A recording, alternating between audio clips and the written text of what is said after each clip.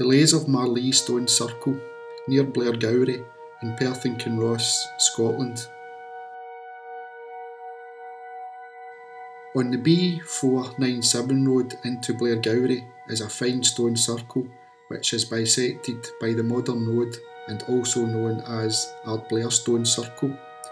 The site consists of six stones in a 15 metre diameter with three on each side of the road.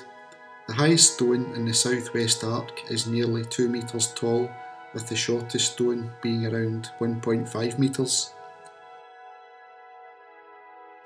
The modern road was built in 1858.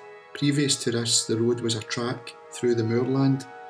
Two of the stones were fallen and were then re erected.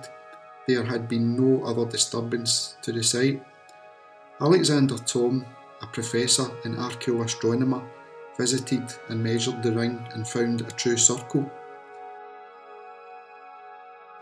An excavation of a stone socket took place in 2008. This was due to a lorry accidentally colliding with the stone.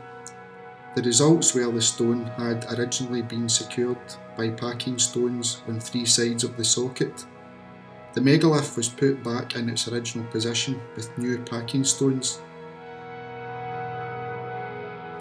The circle seems to have been carefully placed with expansive views over the countryside. The name of the site is interesting as it has the word leys, which may indicate ley lines running through the site. Marlee means marshy meadow.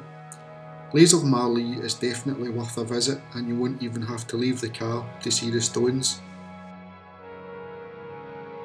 Please subscribe for regular content on Scotland's ancient sites and join Before Caledonia on Facebook.